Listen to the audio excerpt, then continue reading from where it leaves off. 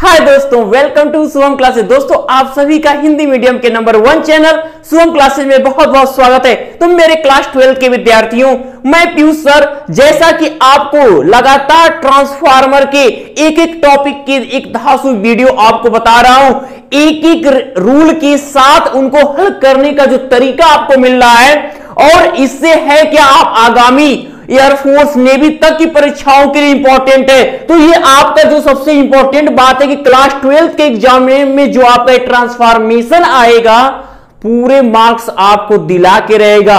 इसलिए एक एक टॉपिक को समझना आपका काम है। ये मत सोचना कि ये हम इसको पढ़ के क्या करें? पढ़ के बहुत कुछ है। बस एक बार पढ़ो माइंड में सेट करो एग्ज़ाम में आते ही सॉल्व करो। ये आपके पास होनी चाहिए खूबी। तो इसके लिए चलिए देखते हैं। Change of exclamatory sentence into assertive sentence की ये टॉपिक बहुत इंपॉर्टेंट है। तो सबसे पहले बच्चों, हम बात कर लेते हैं। जैसा कि सबको पता है कि सेंटेंस पाँच प्रकार के होते हैं। नरेशन में भी मैंने समझाया था। क्या असर्टिव सेंटेंस इंट्रोगेटिव सेंटेंस और इंपरेटिव सेंटेंस एक्सक्लामेटरी सेंटेंस और ऑप्टेटिव सेंटेंस और उन्हीं इन पाँच टेंस में से आपका जो है एक्सक्लामेटरी सेंटेंस है, जिसको हमें चेंज करना है असर्टिव सेंटेंस में।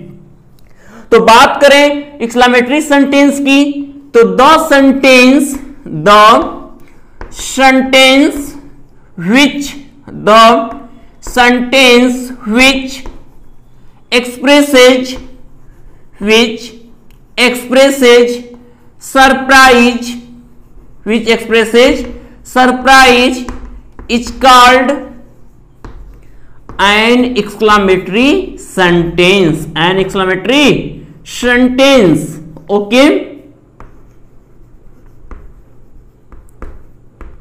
अब ध्यान दीजिएगा। सबसे इंपॉर्टेंट बच्चे बात है कि ऐसा वाक्य जिसमें आश्चर्य व्यक्त किया जाता है, उसे हम इस्लामेटरी सेंटेंस कहते हैं। यानी जहाँ इस्लामेशन मार्क आए तो इस्लामेशन मार्क जो ऑप्टेटिव में भी आता है, लेकिन वह इच्छा व्यक्त होती है आश्चर्य होगा। हम आश्चर्य दुख के साथ भी करते हैं, खुशी में भी करते हैं सवासी देते भी करते हैं। Hurray wow alas oh so sad यानी कि हम क्या देख रहे हैं कि वही, यानी आश्चर्य करने का तरीका एक्सप्रेशन चेंज हो जाता है, लेकिन सरप्राइज़ दोनों सिचुएशन में होते हैं। तो इस तरीके से अगर सेंटेंस आते हैं तो उनको हम आपके असर्टिव सेंटेंस में कैसे कन्वर्ट करते हैं? कैसे उन्हें हम सब्जेक्ट पहले करेंगे और फुल स्टॉप फिर होगा, ये देखते हैं हम।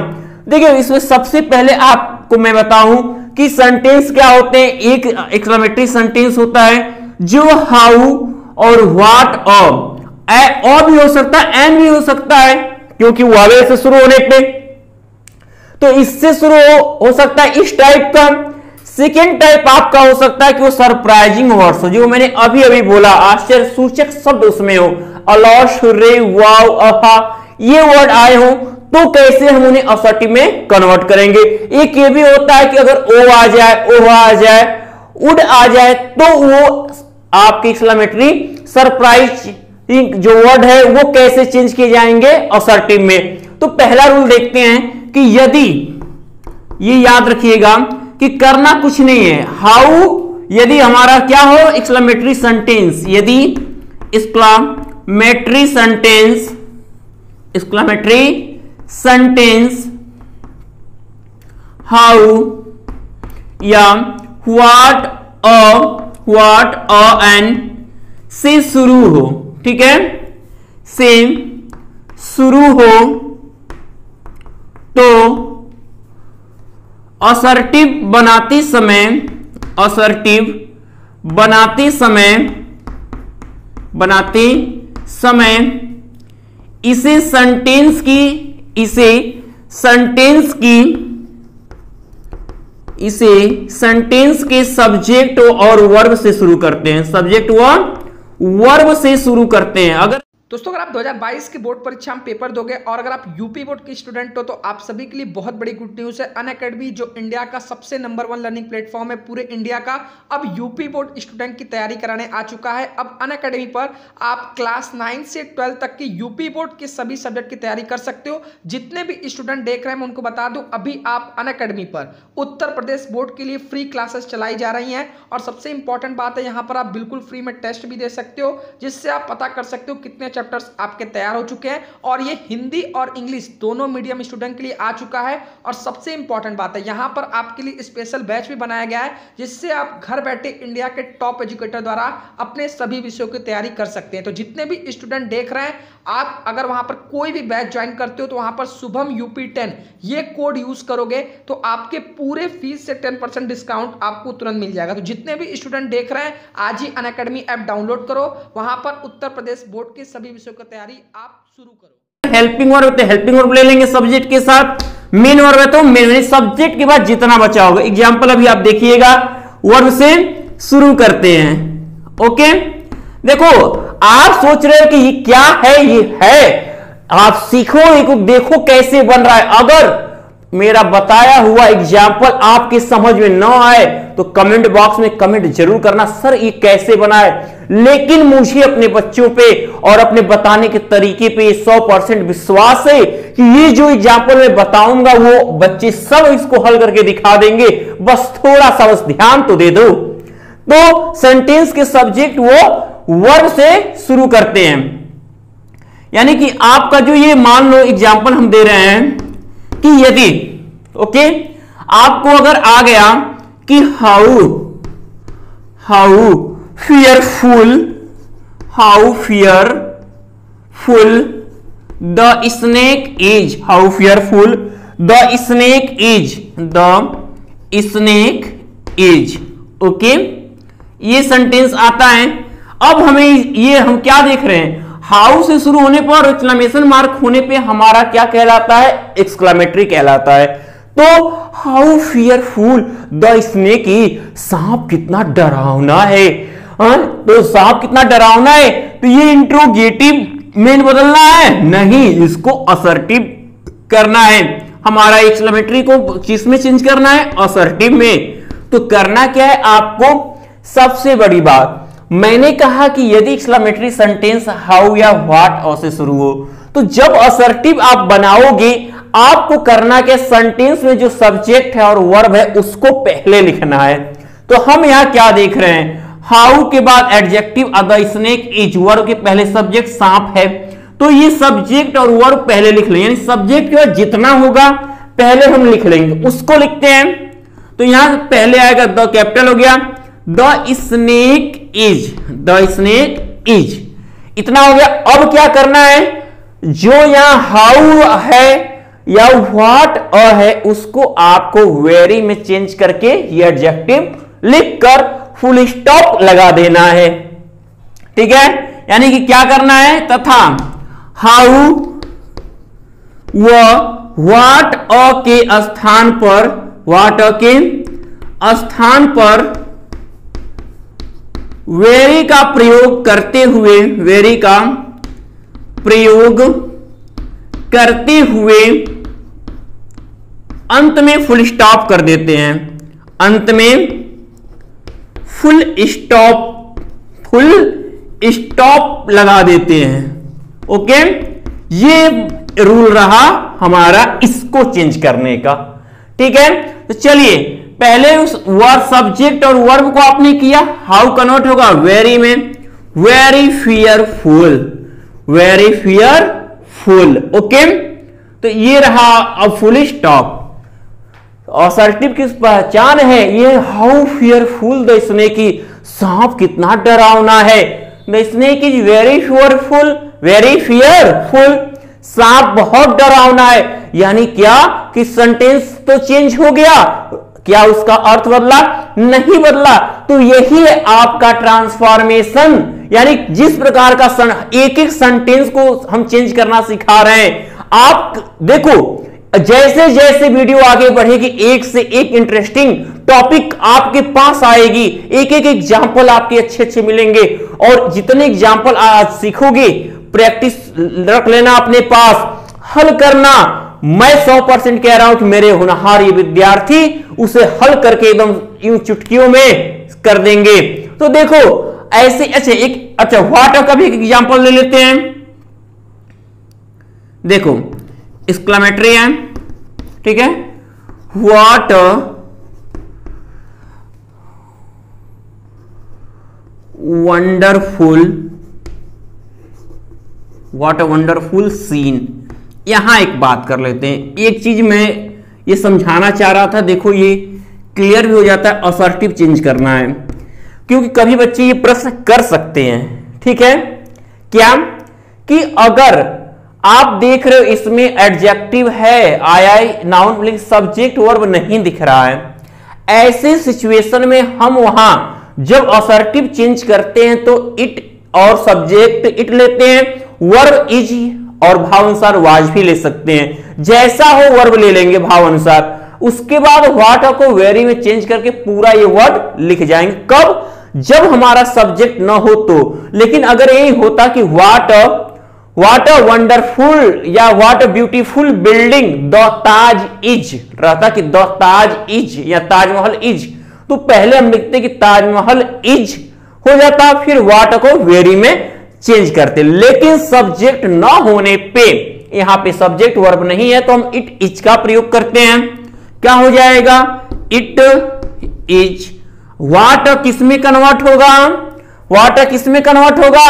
वेरी में कन्वर्ट होगा, okay? It is a very wonderful sight it is a very wonderful sight is scene है, ओके? फुल स्टॉप कर देंगे। क्योंकि असर्टिव का क्या है कि सब्जेक्ट और फुल स्टॉप तो मेरे प्यारे विद्यार्थियों, ये आपका रहा एक्सलामेटरी और ये रहा आपका असर्टिव कभी आपको यहाँ इट इज़ दिखे तो आप क्या करना, यहाँ व्हाट और वेरी की जगह व्हाट करके पूरा लिख देना और एक्सलामेशन लगा देना। कब? जब असर्टिव एक्सलामेटरी बनाने को कहे, तब। ओके अब हम देखते हैं किसको? आपके अगले टाइप के, यानी कि एक्सलामेटरी सेंटेंस में जब सरप्राइजिंग वर्ड आ जाए, ठीक है? यदि अलॉश यदि क्या आ जाए? अलॉश। रे अलॉश। रे वाओ। वाओ। आहा आहा ओ। ऐसे आए। एक्सक्लेमेशन करके। ओ। यानी तुरंत बाद आ जाए। ठीक है? ब्रावो। ब्रावो। ओके? आ जाए। आ जाए। तो क्या करना है? इनको हटा देना है असर्टिव सेंटेंस में। आ जाए तो इन्हें हटाकर इन्हें हटाकर इनके स्थान पर, इनके स्थान पर क्या करना है? लिखना है आपको it is matter of sorrow लिखोगे, अगर दुख की अनुभूति रहेगी, अगर खुशी का रहेगा तो ज्वाय लिखोगे, प्रशंसा का रहेगा तो रबो आए तो प्रेज लिखोगे, ठीक है? गुड एवेंस आ जाए सरप्राइज़ लिखोगे। तो इन बातों का ख्याल करना कि अगर दुख सूचक सरप्राइजिंग वर्ड आया जैसे अलौश ओ तो इट इज़ मैटर ऑफ़ सारो अगर खुशी का आया है, हुर्रे, वाओ। तो यहाँ पे it is matter of joy लिखना है। Bravo well done it is matter of praise तो अगर ऐसे आते हैं तो ये हट जाएँगे। जब असर्टिव बनेगा तो जो सरप्राइज़ करने वाले वर्ड उन्हें हटा देंगे। ठीक उसी के स्थान पे हमको ये वर्ड यूज़ करना है।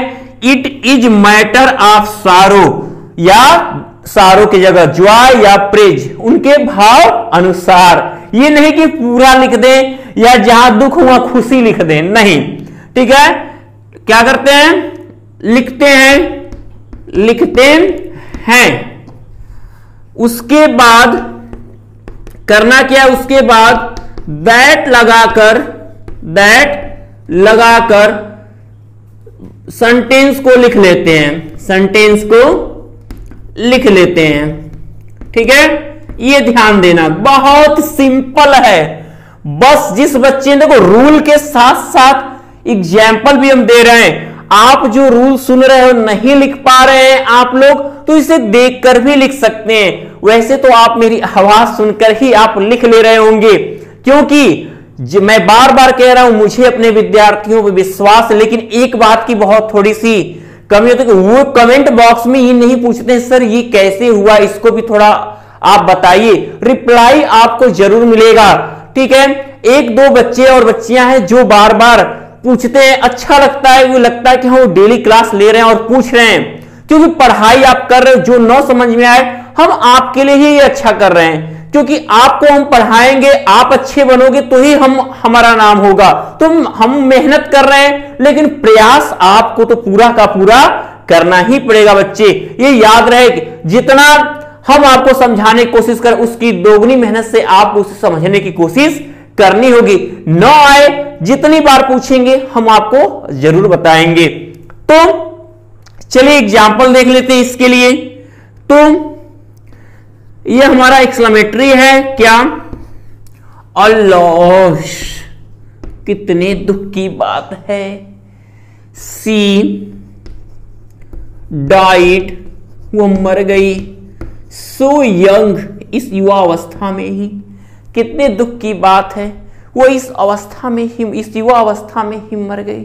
यानी कि अब आपको करना क्या है, इसको चेंज करना है किसमें? असर्टिव सेंटेंस में। तो अभी तक जिस तरीके से आप समझ रहे हो, अभी अंत तक समझो, अभी बहुत सी ऐसी अच्छी टॉपिक आ रही है और आप हमको पूरा यकीन हो रहा है कि सीख रहे हो कि हाँ वाह, क्या चेंज करने का तरीका हमको आ गया। तो एकदम आएगा, ऐसे ही पढ़ते रहो। देखो तो alas she died so young अरे, दुख की बात है, वो इतनी युवावस्था में मर गई। करना कुछ नहीं है। सरप्राइजिंग वर्ड आने पे। जब भी असर्टिव बनाओगे, ठीक उसको ही हटा दो बस। अलॉस हटाओ। दुख सूचक लिखना क्या है कि इसके स्थान पे करना है इट इज़ मैटर ऑफ़ दुख का है तो सारो। और उसके बाद लगाना है दैट और इस सेंटेंस को कॉपी कर लेना है। She died so young. She died so young. वो इस युवा अवस्था में ही मर गई। It is matter of sorrow that कितने दुख की बात है कि वह युवावस्था में ही मर गई।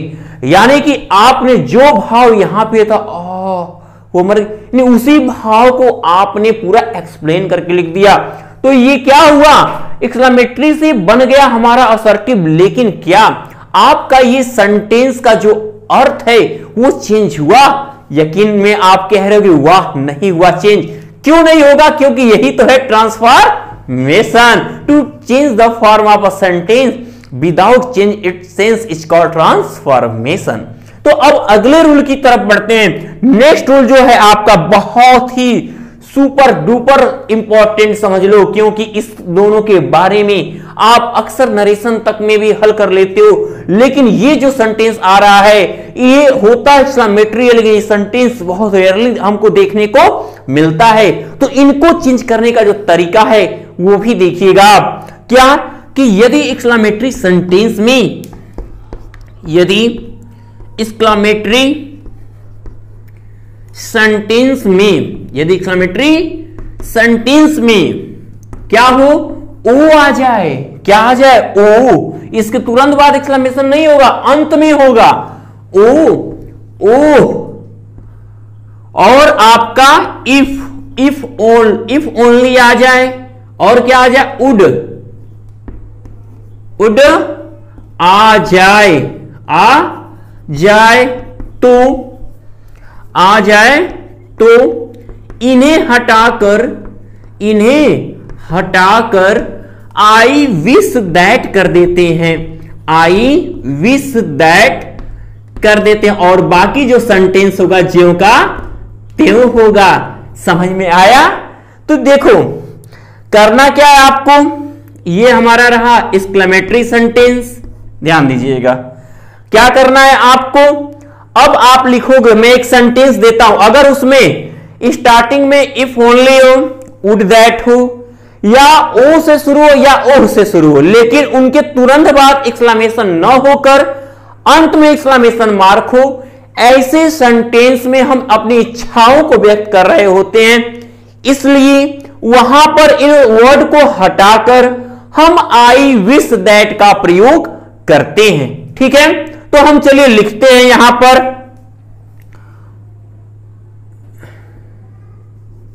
If only if only I could see my mother see my mother now see my mother now यदि मैं एक बार अपनी माँ को देख लेता, अरे, एक बार मैं अपनी माँ को देख लेता, यानी आश्चर्य के साथ कह, हम सोच रहे हैं। इसका मतलब यहाँ पे क्या? एक्सलामेट्री की परिभाषा है कि सरप्राइज़ होना।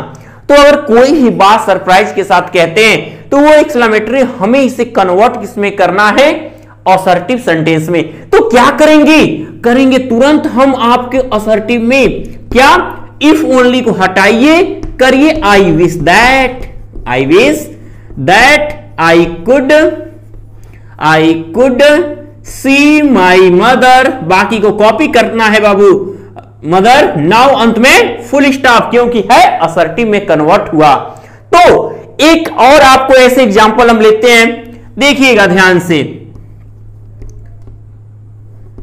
उड का ले लेते हैं, चलिए, कह रहे हैं तुम। Would that would that they were safe. They were safe, okay?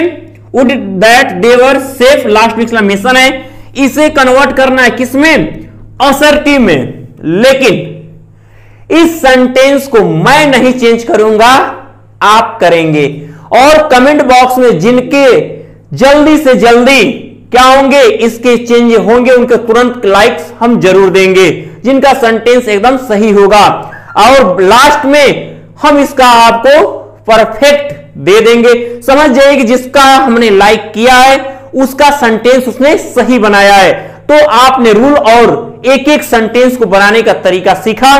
तो मेरे प्यारे विद्यार्थियों, जिस तरीके की मेहनत आप कर रहे हो, उसी तरीके की मेहनत के साथ एक एक टॉपिक आप समझते रहो और आपका हमेशा बेस्ट होता रहेगा।